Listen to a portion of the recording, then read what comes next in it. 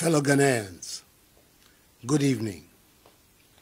I've come again for the tenth time into your homes to speak to you about the coronavirus pandemic, share with you information about the fight against the virus, and outline to you the decisions I've taken about the next chapter of our common battle.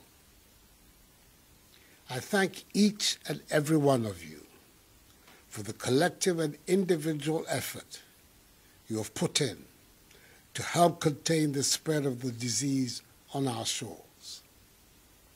The great majority of us continue to adhere to the social distancing and enhanced hygiene protocols.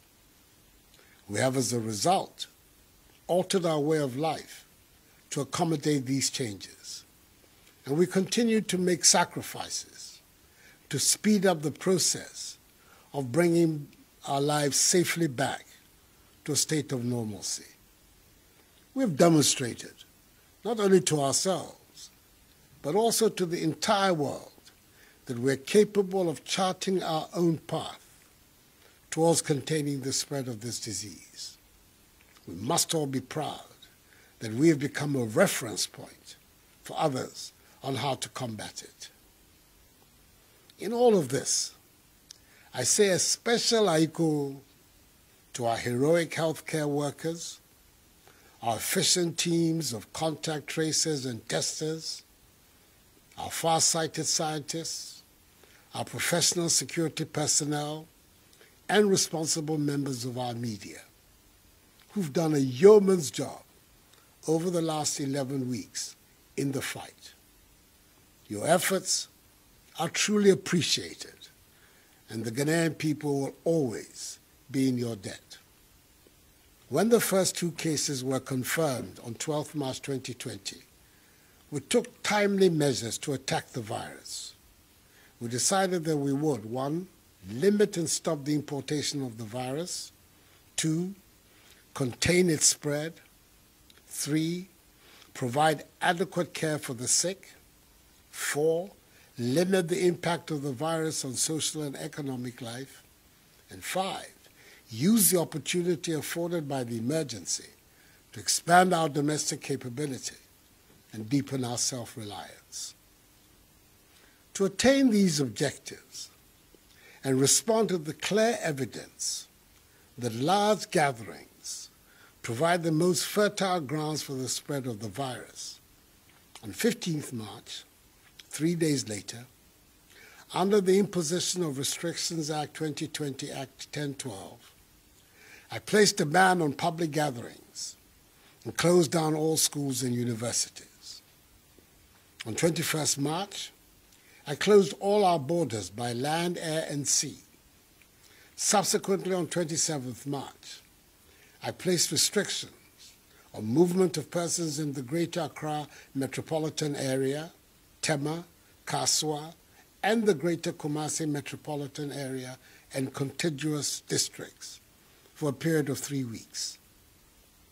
In view of the obvious economic difficulties that the tough measures brought, I also announced far-reaching reliefs to ease the economic and social burden on households and businesses. These included subsidies on utilities for all, tax reliefs and financial packages for businesses, and incentives for our frontline health workers. Fellow Ghanaians, as of today, Sunday, 31st of May, under these measures, we've conducted 218,425 tests. The number of positive cases stands at 8,070 2,947 persons have recovered. 36 have sadly died. 13 persons are severely ill, with three critically ill, for which one is on a ventilator. And 5,087 are responding to treatment at home, isolation centers, and hospitals. Our hospitalization and death rates have been persistently very low some of the lowest in Africa and in the world. The Ghanaian people are not dying of the virus in the hundreds and thousands that were earlier anticipated and that are being seen on a daily basis in some other countries. Indeed, we are witnessing a much milder manifestation of the virus in the country than was initially feared. And I dare say that it is the grace of God and the measures taken by government that have produced this result. Our ability to trace, test, and treat persons with the virus has improved considerably. We now have a large army of efficient contact tracers. We've expanded the number of testing facilities from two to 10 across the country, and we've increased appreciably the number of quarantine, isolation, and treatment centers. We've lessened our dependence on foreign imports and scaled up significantly domestic production and distribution of personal protective equipment to our healthcare workers. Evidence in the provision of 4,440,690 gloves, 3,524,205 nose masks, 62,194 goggles, 109,829 liters of sanitizers, 85,995 head covers, 82,655 gowns, 53,517 medical scrubs, and 43,693 N95 face masks. As I've already said, everything that has been achieved so far would not have been possible without the strong cooperation of you, the Ghanaian people. I know at first hand the devastating impact the measures employed to defeat the virus has had on our social, religious, cultural, and economic lives, as well as on our jobs and the education of our children. And yet, because of love of country, we have borne with them. I know, however, that we cannot live with these restrictions forever, and that is it is imperative we find a safe way to return our lives to normality, as other nations across the globe are trying to do.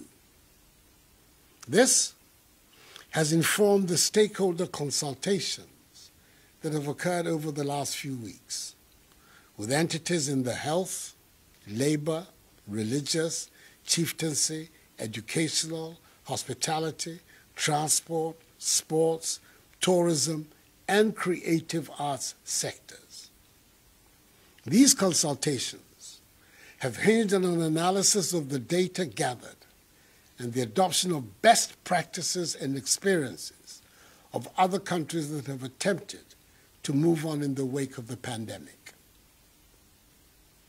A consensus has emerged from these consultations that we should embark on a strategic, controlled, progressive, safe easing of restrictions to get our lives and economy back to normal. As I stated in my May Day address a month ago, I'm now in a position to outline the roadmap for easing safely the restrictions. Ours is going to be a phased approach involving a selected list of public gatherings based on their risk profile, socioeconomic impact, and most importantly, our capacity to enforce and to respond in the event of a flare up in our number of infections. So, fellow Ghanaians, with effect from Friday, 5th June, we will begin stage one of the process of easing restrictions. An abridged format for religious services can commence. 25% attendance with a maximum number of 100 congregants can worship at a time in church or at the mosque, with a mandatory one meter rule of social distancing between congregants. In addition to the mandatory wearing of masks for all persons at all times in churches and mosques, a register of names and contact details of all worshippers, and hand washing facilities and sanitizers must be provided with a maximum duration of one hour for each service. Religious institutions that are desirous of opening their premises to their members, such as churches, mosques, and others, must disinfect, fumigate, and put in place the requisite logistics needed to guarantee safe opening and operation. They must work with the designated regulatory bodies and undertake test runs of the protocols I have outlined. I would appeal to them, in the case of Christians, on the first Sunday of reopening, i.e., 7th June. In the case of the Adventists, Saturday, 6th June. And in the case of Muslims, on the first Friday, i.e., Salat al Juma, on 5th June, to dedicate their worship to prayers for the nation in these challenging times. The Minister for Religious Affairs will tomorrow, Monday, 1st June, outline in detail the specific guidelines for the safe reopening of our churches and mosques. From Monday, 15th June, the decision has been taken after engagement with the teacher unions, whose cooperation I salute, to reopen schools and universities to allow for final year junior high, senior high, and university students to resume classes ahead of the conduct of their respective exit examinations. Indeed, final year university students are to report to their universities on 15th June. Final year senior high school SHS3 students, together with SHS2 Gold Track students, on 22nd June. And final year junior high school, JHS3 students on 29th June. JHS3 classes will comprise a maximum of 30 students. SHS classes a maximum of 25 students. And university lectures will take place with half the class sizes all final year students of educational and training institutions, which are being managed by ministries other than the Education Ministry, are to return to school on 15th June to complete their exit examinations. Again, prior to the opening of schools and universities, the Ministry of Education and the heads of public and private educational institutions will fumigate and disinfect their institutions. Each student, teacher, and non teaching staff will be provided with reusable face masks by the Ministry of Education. With the avoidance of doubt, all other educational facilities, private and public, for non final year students will remain closed. The Minister for Education in the coming days will outline in detail the specific guidelines for the safe reopening of our schools and universities. Private burials, now with a maximum of 100 persons, can continue to be performed. Restaurants providing seated services can operate under appropriate social distancing arrangements and hygiene protocols individual, non contact sports can go ahead. Conferences, workshops, weddings, and political activities, except rallies, can now take place, but with limited numbers, not exceeding 100 persons present, with the appropriate social distancing and hygiene protocols.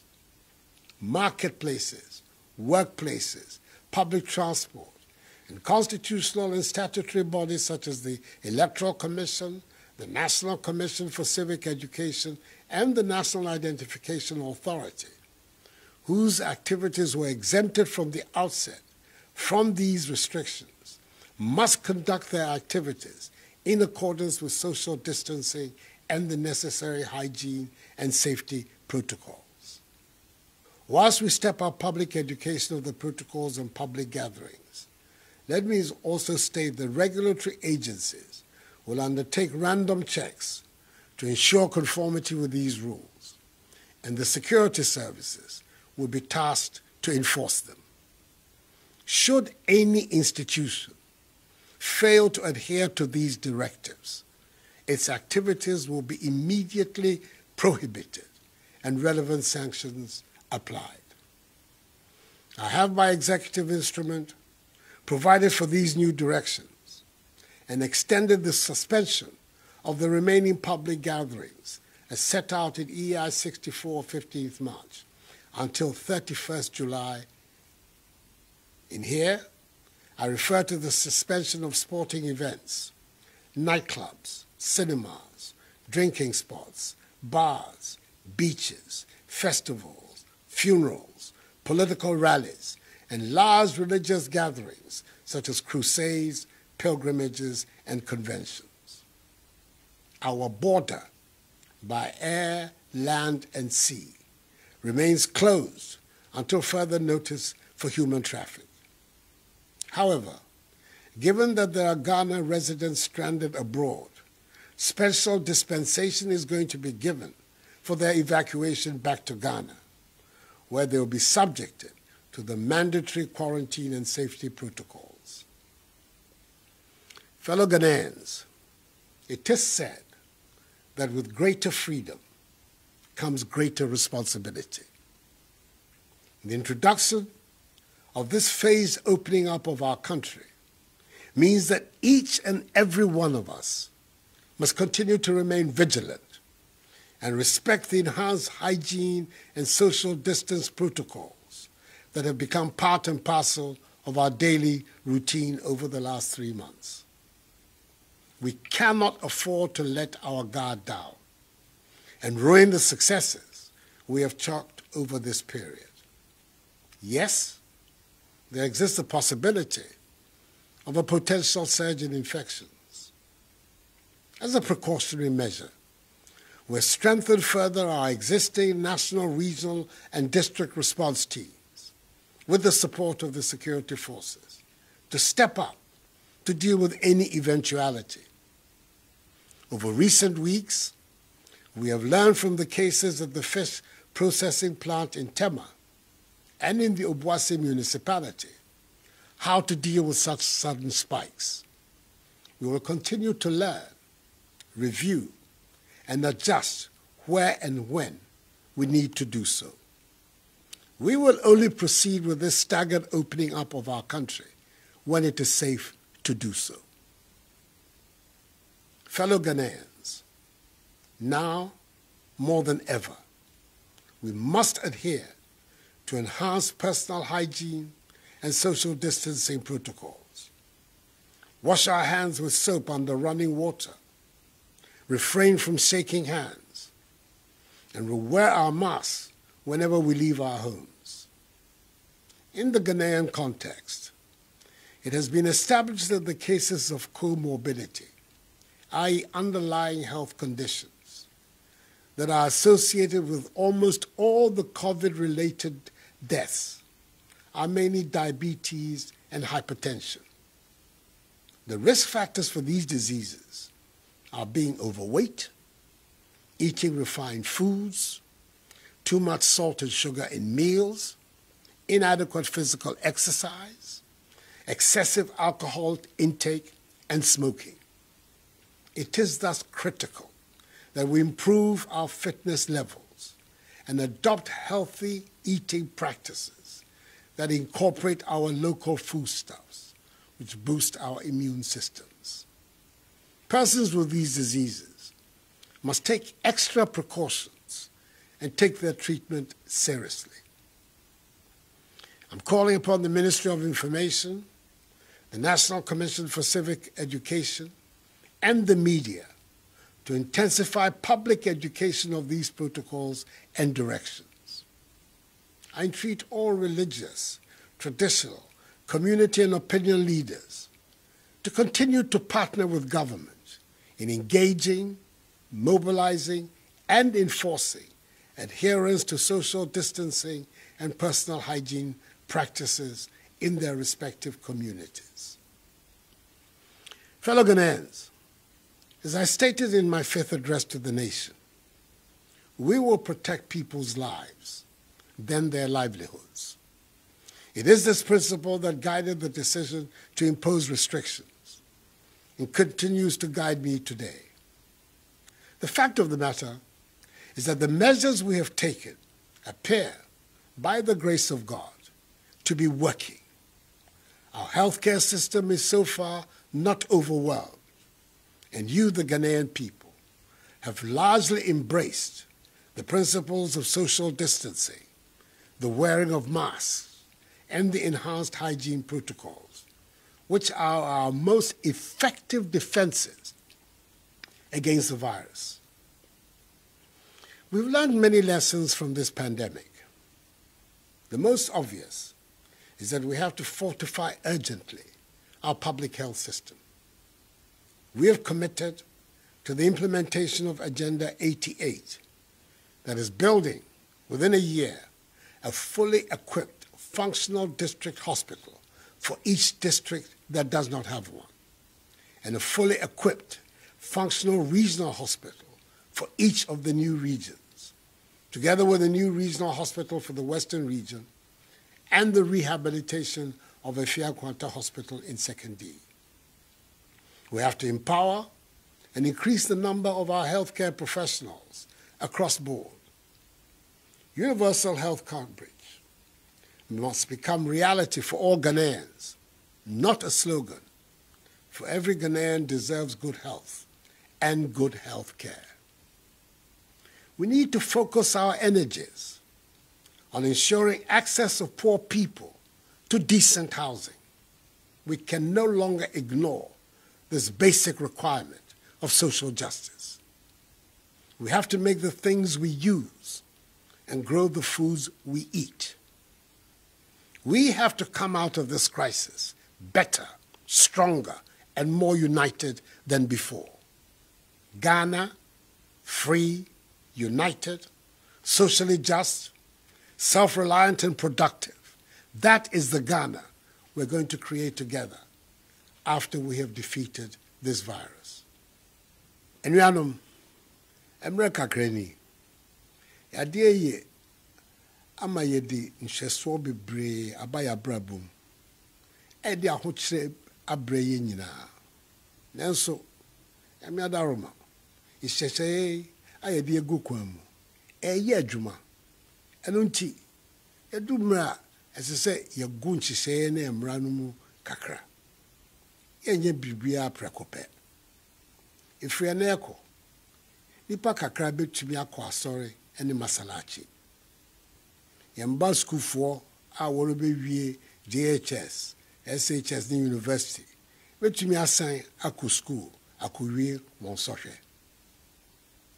Yɛyɛ ntotoyɛ ne hyehyɛ pa a ɛbɛbɔ tikyafoɔ ne yɛn mma ne ho ban mesrɛ mu biribiara mu ɛsɛ sɛ yɛkɔ so di sɛmina ne nsuo ɛhohoro yɛn nsa. Yɛmfa sanitizer mpepa yɛn nsa. Yɛnhyɛ mask. Yɛpue kɔ nipa mu a yɛmma nkwan ɛndeda yɛn ntam. Yɛndidi yɛn ho ni ne yɛndi yɛn aduane titiriw. Mesrɛ mo asɛm a mekɛn mongye ntom na motaa m'akyi na mommoa me na me nso mentumi mmoa mo. Yɛayerɛ yi abɔ yɛn nyinaa fam. Nti yɛn nyinaa mbom. Yɛnsɔre mpagya yɛn ɛne yɛn man ghana. Ɛyɛ me mɛ besane wɔte hefi mu fio ne ha ne bi meewa eha wɔ fɛn. Twinyɔmɔdoro mu na na ɛkɛ hefi mu na ne etumi no ewọ mimba ma gbọjọ mi fiofio agbene me fio ba amebo nsọmọ ke masalachi ya wọbi ni yọ JHS SHS ke university ní àmì bá gbìnà àmì bá nyà àmì ya ní àmì ya gbìnà mí ń tọ́ gbèjì àná kó ke ame ni tsɔ lɔe. Ni sane ko akaba ìsani wɔ ha gbɛ aka wɔ ten ni wɔ fɔ wɔ den ni wɔ kɔ sanitizer afe wɔ de. Ni wɔ wɔ mask. Ni wɔ kɔ wɔ he odzogba. Ni wɔ yɛ wɔ ma nie ni. Mi kpa nye fa yi sani mi yɔ nɛ. Nye hia nye ye. Ni nye ba fi sɛ. Nye wa mi ni mi hu ma nye ma wa nye. Hela nɛ ẹ àwọn fẹ́ẹ́ wọ́n gbé sí ní wọ́wọ́ ní àwọn fẹ́ẹ́ wọ́n fẹ́ kòmé ní wọ́wọ́ wọ̀ hìnà kẹwọ́n máa Ghana. Fellow Ghanaians ultimately the battle is the Lord's. And with faith in him we will emerge from this greater than before. We are one people. We are Ghanaians and we stand together in joy and in times of trouble. We are a people with an exceptional history, and we are the proud promoters of the Black Star of Africa. We've all gone down together. We should all rise together. This too shall pass. May God bless us all and our homeland Ghana and make her great and strong. I thank you for your attention and have a good night.